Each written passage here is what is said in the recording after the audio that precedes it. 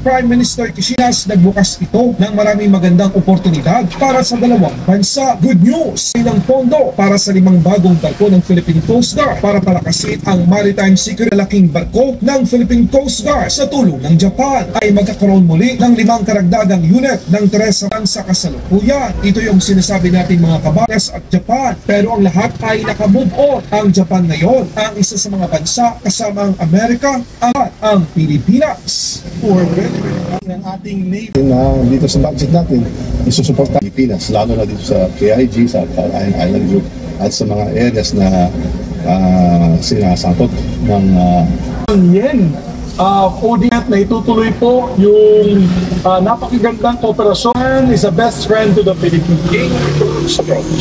because we share functions.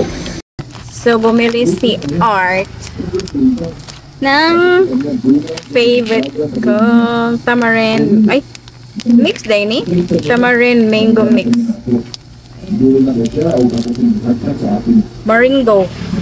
Haha. Maringo. Let's eat. Saw-saw natin sa asin.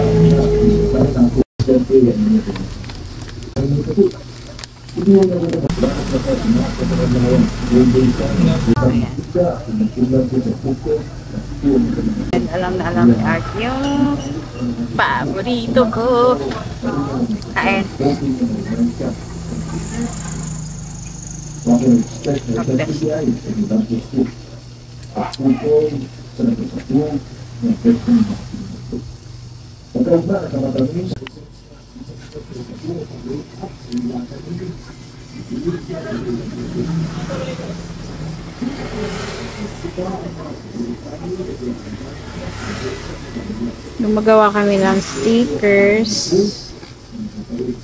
Ayan. Ayan. So, pwede siya pang outdoor kasi waterproof na siya. Ay, excuse me. So, waterproof. And itong pinili namin na photo top is glittery siya. Ayan, kung makikita niyo, meron siyang glitters. Ayan.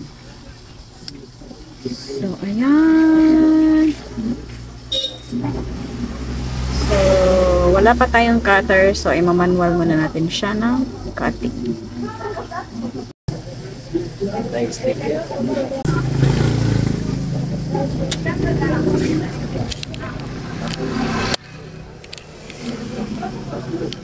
So, ngayon, gagawa pa kami ng isa. And kukuha lang tayo ng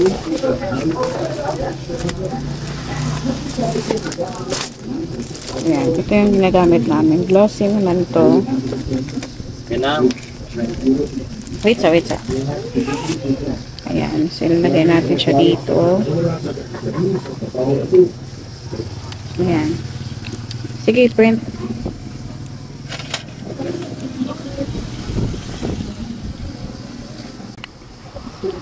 So, ayan. Done na siya.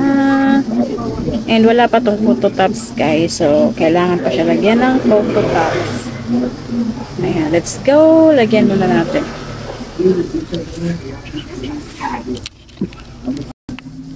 So, ito yung kaibahan ng walang photo top. Ano lang siya. Ayan. And ito naman, meron na siyang photo tops na glitters. Okay ra lang din namin. Pa, Dahil ko naman na. Mag-video to. Oh. So, na siya. Kaaway na sa... Kapoy ka. Sige, nag-away. Pagkakapilit. Ano, mapilit ko. Aragod na. Wala, wa na. Bawa pa ma. So, mo, ayan guys. Masyadong hindi siya kita. Pero, ayan o, ayan o, ayan. Glitter. Tapos ito, walang glitter. Ayan. So, ano lang siya, glossy. So, lagyan natin to ng glitter na photo tops.